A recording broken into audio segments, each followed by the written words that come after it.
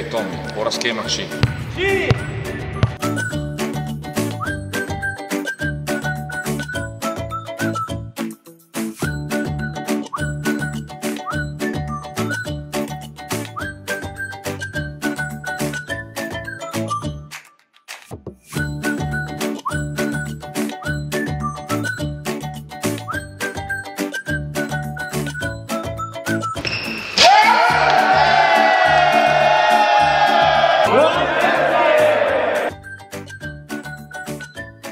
Thank